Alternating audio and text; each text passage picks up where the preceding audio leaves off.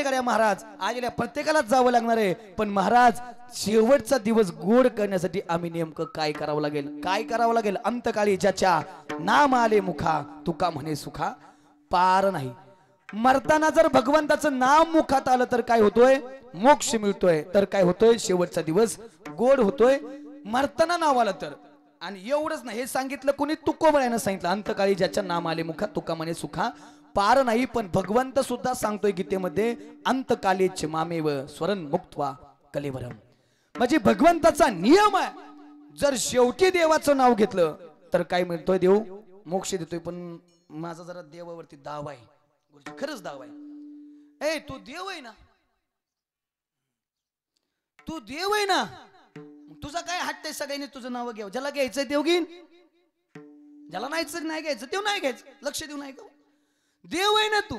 तू जगाचा मालक आहे ना. तू मालकच आहे. नाव घेतलं काही नाही घेतलं काही तू बापच आहे ना सगळ्याचा.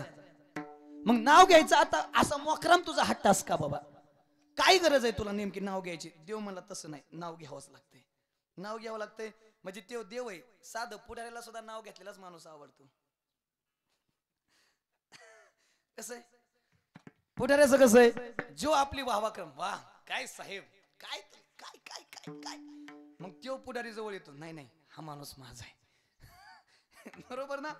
म्हणजे जर साध्या गावच्या पुढाऱ्याला जर आपलं नाव घेतलं आपला उदो उदो केला तर तो काय करतोय?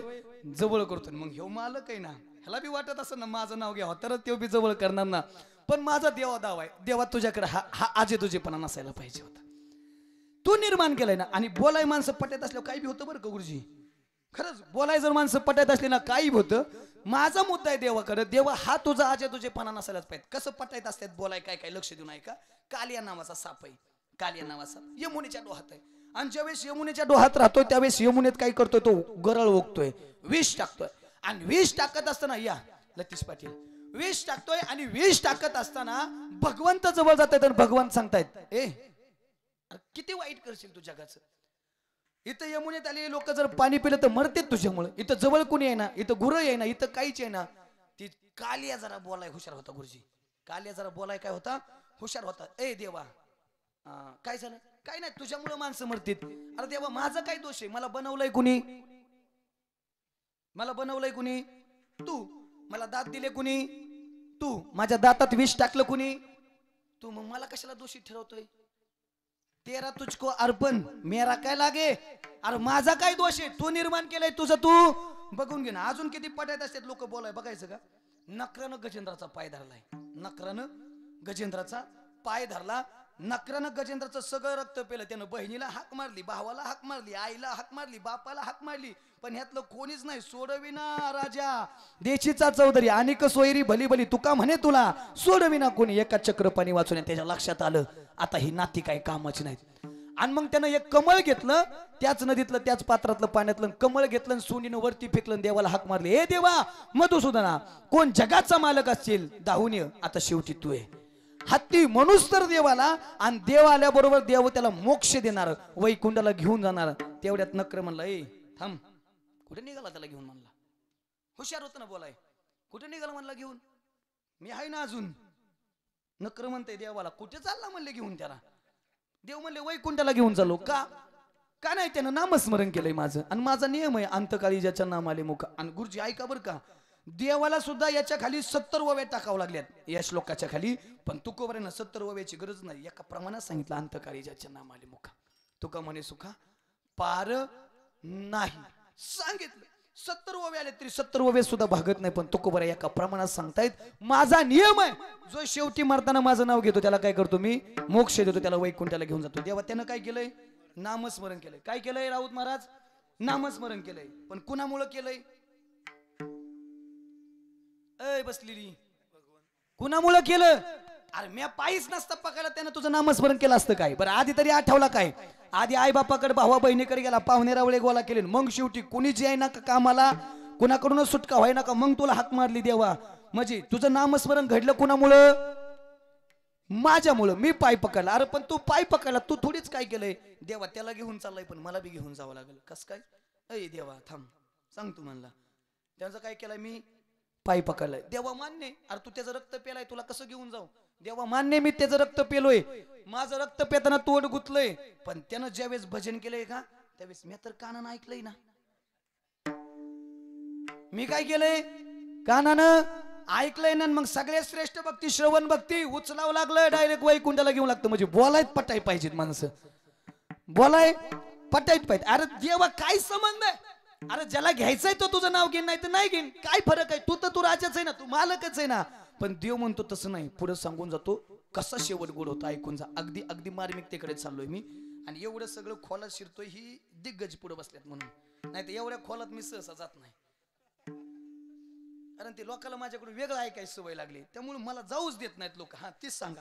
काय काय ठिकाणी गेल्या तो महाराज आधी फार चार पाच चिठ्ठी येतात. ही ही म्हणा कीर्तनात. आम्हाला दुसरं बिल येतं. ऐका आणि आज मला पूर्ण स्वातंत्र्य मला महाराजांनी सांगितलं तुम्हाला जे योग्य वाटेल ते सांगा. लोकाला चांगलं काहीतरी सांग. सगळं तर खरंच आहे. रोजचे कीर्तन तुम्ही ऐकताय पण आज वेगळं आहे जरा. ऐकून जा. काय झालं? चला तुम्हाला रामायणात घेऊन जातो. शेवटचा दिवस कसा गोड होतो. रामायणात चला. आता आलंय ना? रामजे रामनवमी आली म्हणून सांगतो. रामायणाकडे घेऊन जातो. काय झालं? रावणानं सीता उचलली. आणि रावणानं सीता उचलल्यानंतर सीता आई साहेबाला घेऊन रावण निघाले. आणि रावण निघाल्यानंतर जटायू पक्ष आडवा आलाय. आणि जटायू पक्ष आडवा आल्यानंतर जटायूचं रावणाचं तुंबळ युद्ध झालंय. जटायू काही हरत नाही जटायू काही मागे सरायचं दिसत नाही. मग रावणानं हार पत्करणार. पण रावणानं सांगितलं ए ऐक तू माझ्याशी वाद का घालतो? माझ्या संग काय युद्ध करतोय? अहो तुम्ही माझ्या आराध्य दैवत आहे प्रभू रामचंद्र. त्यांच्या बायकोला चालवलं ते योग्य नाही.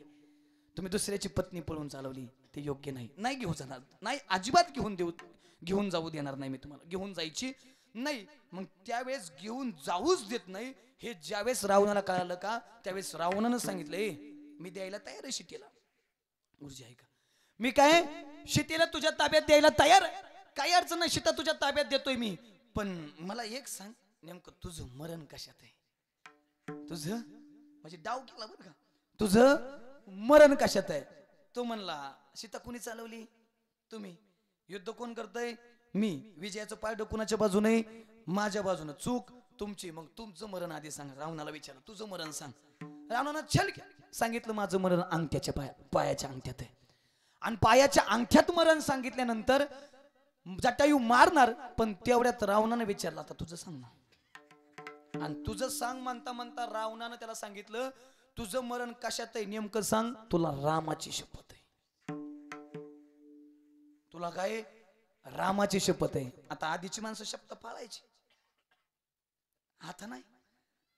आता शब्द आधी जर शब्दाचं खरंच खऱ्या ठरत असत आधी देवच मिळला असता.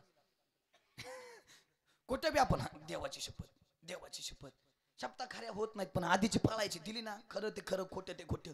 आणि मग जटायू हो खरं.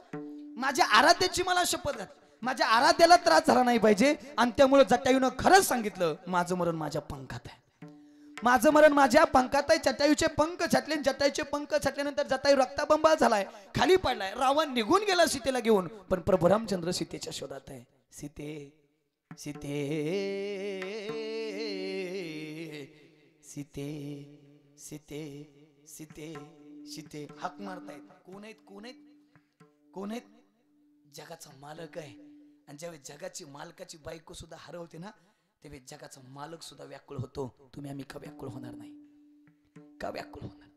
जगाच्या मालकाच्या डोळ्यात असवय सीता कुठे आहे माझी? अरे माझी सीता कुठे गेली? झाडाला कवटाळतायत झाडाला मिठी मारतायत? सीते झाडा सांग माझी सीता कुठे आहे? पाल्याला विचारतायत पानांना विचारतायत फांद्याला विचारतायत माझी सीता कुठे आहे? माझी सीता पहिली का? माझी सीता पहिली का? निघालेत. आणि पुढे जात असताना अचानक एका एका पाला पडलाय जटायू खालीत. आणि पाल्याच्या खाली जटायू डबले गेलेले आहेत. पण त्या पाल्यातून आवाज येतोय श्रीराम श्रीराम श्रीराम श्रीराम. आवाज पाल्यातून चालू आहे. आणि ज्यावेळेस पाल्यातून आवाज चालू आहे त्यावेळेस पाला बाजूला केला आणि पाहिलं तर जटायू नावाचा पक्षी रक्तभंबाळ आहे. अंगात त्राण राहिला नाही. आवाज देतोय प्रभू रामचंद्राचं भजन करतोय. मग प्रभू रामचंद्रानं आपली मांडी केली आणि मांडीवरती जटायूचं डोकं ठेवलं आणि जटाला विचारलं हे माझं भजन करतोय माझा भक्त आहे. हो देवा तुझा भक्त आहे. अरे पण तुझी अवस्था ही कोणी केली आहे? ए देवा रावण आहे. आणि रावणानं तुमची पत्नी काय केली? माझे आराध्य माझी आई साहेबाला काय केलंय? उचलून घेऊन गेलाय आणि त्याच्याशी युद्ध करत असताना माझी त्यांनी ही अवस्था केली. तसं देवा मी त्याला ऐकत नव्हतो रे. पण देवा त्यानं छल केलं त्यानं माझं मरण विचारलं आणि माझं मरण विचारताना देवा तुझी शपथ सांगितली. आणि तुझी शपथ घातल्यावरती मी काय केलं?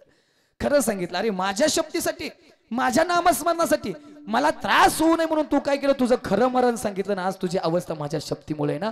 डोकं ठेवलंय. आणि डोकं ठेवलं असताना लखनजीला सांगितलं लखनजी जा पाणी घेऊन या. शेवट गोड करायचंय पाणी पाजायचंय. लक्ष देऊन ऐक पाणी पाजायचं गुरुजी पाणी पाजणार पण जटायू मात्र तोंड उघडत नाही. कारण भजन चालू आहे. श्रीराम जय राम. श्रीराम जय राम पाणी तोंडात घेत नाही जटायू. आणि जटायू पाणी तोंडात घेत नाही हे प्रभू रामचंद्राच्या लक्षात आल्यानंतर प्रभू रामचंद्राने लखनजीला सांगितलं ए लखन ऐक एक काम कर. जटायूच्या कानाजवळ जा आणि जटायूच्या कानात मंत्र म्हणायला सुरुवात कर. जटायूच्या कानात नामस्मरण सुरू कर.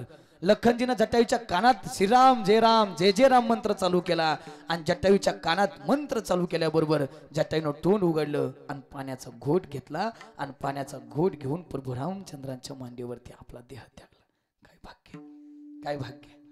देवाच्या मांडीवरती मृत्यू. पण याला पण भाग्य म्हणत नाहीत बरं का?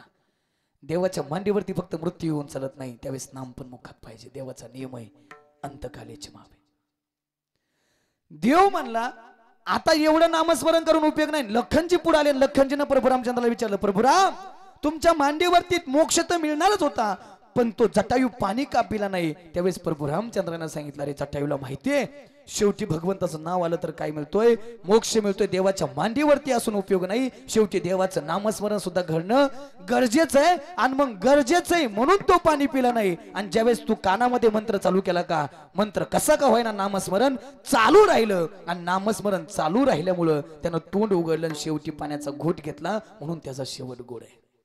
म्हणून त्याचा काय केलाय शेवट गोड आहे. जरा पुढे जाऊ का? लय बोर नाही ना व्हायला लागलं? पुढे जातो जरा ऐका. आता लंकेमध्ये युद्ध चालू आहे. प्रभू रामचंद्राचं रावणाचं युद्ध चाललंय हळूहळू हळूहळू सगळे योद्धे मारतायत आणि शेवटी राहिलाय फक्त रावण. शेवटी रावण राहिलाय प्रभू रामचंद्रानं बाण काढलाय प्रभू रामचंद्रानं बाण सोडला आणि रावण मरणार तेवढ्यात प्रभू रामचंद्रानं बाण दुसरीकडे दिला धनुष्य दुसऱ्याच्या हातात दिला आणि पळत पळत गेले आणि आपली मांडी केली आणि आता रावणाचं डोकं आपल्या मांडीवरती घेतलं लक्ष देऊन ऐका आता रावणाचं डोकं काय घेतलंय? आपल्या मांडीवरती घेतलंय. ज्यावेळेस रावणाचं डोकं मांडीवरती घेतलंय त्यावेळेस लखनजी म्हणतायत ए ऐक ऐक ऐक. अरे एवढंच करायचं होतं त्यानं तुझी बायको पळवली त्याच्यामुळे एवढा त्रास झालाय सगळं खरंय आणि शेवटी त्यालाच मोक्ष देतोय त्याच्याच डोकं मांडीवरती घेतोय. त्यावेळेस लखनजी रावण लखनजीला जवळ बोलवतो लखनजीला सांगतो ए ऐक ऐक ऐक.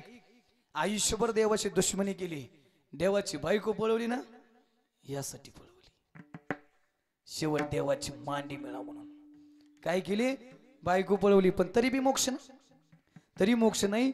मग लखनजी रामाला विचारतायत प्रभू राम ए दादा अरे त्यानं तर पाप केलंय तरी सुद्धा त्याची मांडीवर तुझ्या मांडीवरती त्याचं काय डोकं आहे? त्यावेळेस प्रभू रामचंद्र म्हणतात आठवतो दिवस ज्यावेळेस जटायूला सांगितलं होतं तुला रामाची शपथ आहे. तो दिवस आठव. जटायूला काय सांगितलं होतं? तुला रामाची शपथ आहे कसं का व्हायना?